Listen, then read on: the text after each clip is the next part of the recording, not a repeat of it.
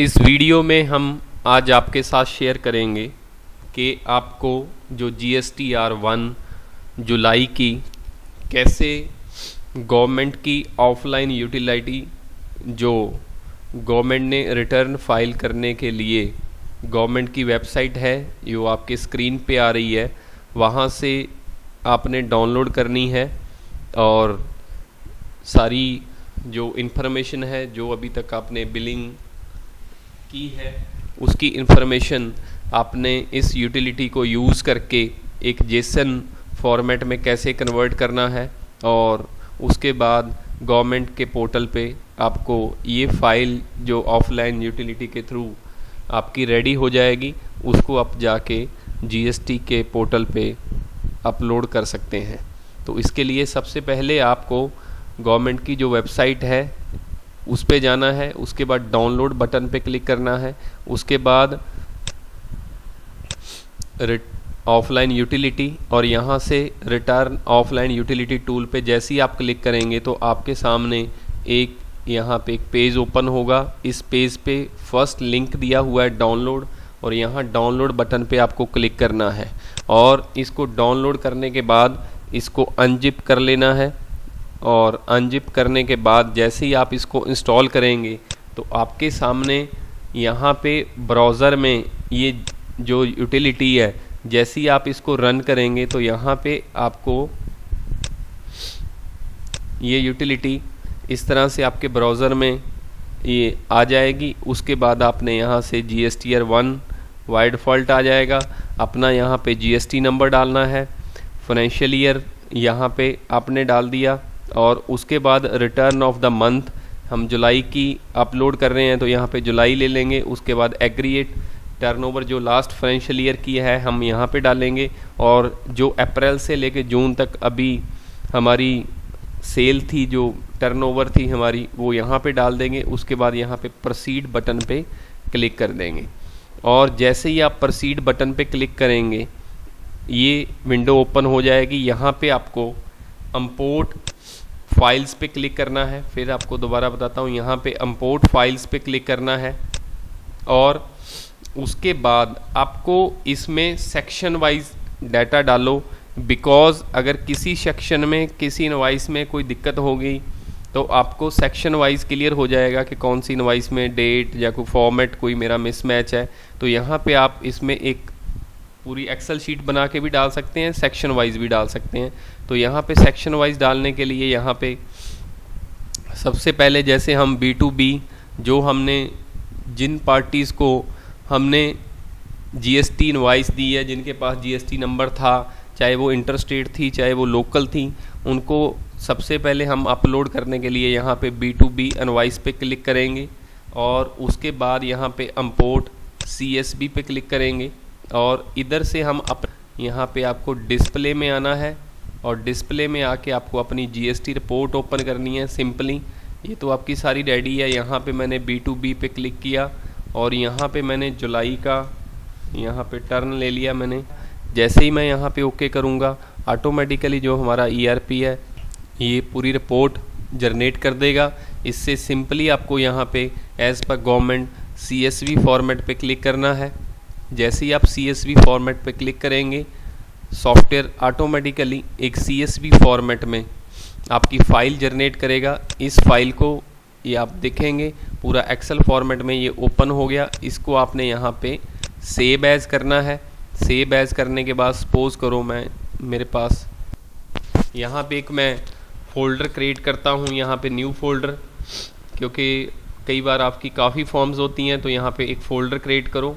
उस फॉर्म के नाम से और उसके अंडर जो जीएसटी की जितनी भी सीएसवी फाइल्स हैं, वो यहाँ पे हम सेव कर लेंगे। जैसे वी टू बी ले लिया मैंने और इसको कर दिया सेव यस कर दिया। इसके बाद इसको कर दिया मैंने क्लोज़ और यहाँ पे कर दिया डोंट सेव और इधर से मैंने ऑफलाइन यूटिलिटी ओपन की और यहाँ पे मैं अपना पाथ शेयर करूँगा। पाथ शेयर करने के लिए मैंने यहाँ पे रखा था G S T R one और यहाँ पे मैंने ये जो फ़ाइल वहाँ पे क्रिएट हुई थी सॉफ्टवेयर ने ऑटोमेटिकली क्रिएट कर दी थी मेरी, उस पर डबल क्लिक करूँगा, और जैसे ही मैं डबल क्लिक करूँगा, ये पूछेगा are you sure you want to save the data यहाँ पे हम येस बटन पे क्लिक करेंगे, और जैसे ही येस बटन पे क्लिक करेंगे ऑटोमेटिकली हमारा ये डाटा अपलोड हो जाएगा, और इसको देखना है तो यहाँ पे आप देख सकते हैं कि 35 फाइव अनवाइस इसमें अपलोड हो गई हैं। इस पर हम क्लिक करेंगे तो ऑटोमेटिकली आप यहाँ पे इसका वन बाय वन देख सकते हैं। चेक कर सकते हैं कि मेरी प्रॉपर जो मैंने उधर से बिलिंग की थी वो लोड हो गई कि नहीं। फिर यह फिर यहाँ से मैंने ले लिया बी टू सी और यहाँ पे फिर ई e में आया। जो भी आपका डाटा है जैसे जैसे आपने अनवाइस अपलोड किए हैं उसी फॉर्मेट में। ओके किया। ये मेरी अनवाइस है। वी टू सी स्मॉल जो मैंने इशू की है, इसको मैं सी एस बी फॉर्मेट में यहाँ पे ले लिया। और यहाँ से फिर मैंने इसको सेव एज किया। इस ईआरपी e में ऐसा नहीं है कि आप एक ही कंपनी का, एक ही फर्म का आप बिज़नेस कर सकते हैं। आपकी जितनी भी फॉर्म्स हैं, उसका आपने डाटा मेंटेन करना है तो यहाँ पे मैं जीएसटी रिटर्न वन में, इसको भी मैं यहाँ पे सेव कर लेता हूँ। और सेव करने के बाद इसको इधर से मैं ब्राउज़र में फिर आया। और यहाँ पे मैंने अम्पोर्ट सी किया। अभी यहाँ पे मैंने इसका नाम रीनेम जैसे आप चाहते हैं वैसे आप रख सकते हैं। और फिर दोबारा से यस किया।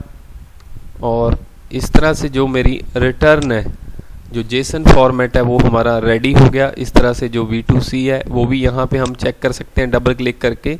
इस तरह से स्टेप बाय स्टेप आपको सारी फाइल्स जितनी भी आपके ERP में है, जो अभी तक आपने बिलिंग की है, उसके अकॉर्डिंग गवर्नमेंट परफॉर्मा के अकॉर्डिंग ये राइट होती रहे। यहाँ पे डर नहीं है। इस तरह से कोई एडवांस है, या एडवांस आपने रसीट वगैरह की है, वो यहाँ पे आपको आ जाएगी। और इसी तरह से जो एडवांस रसीट थी, जिसके अगेंस्ट मैंने इनवाइस इशू कर दिया वो यहाँ पे आ जाएगी। उसके बाद यहाँ पे आएगी H S N code wise report आपकी। ओके किया, ये मेरी H S N wise summary आ गई। इसको भी हम यहाँ पे सी एस बी फॉर्मेट में ले लेते हैं। इसको जैसी H S N wise summary करेंगे तो यहाँ पे हम एच एस एन समरी लेंगे। यहाँ पे यस किया और ये मेरी एच एस समरी भी अपलोड होगी।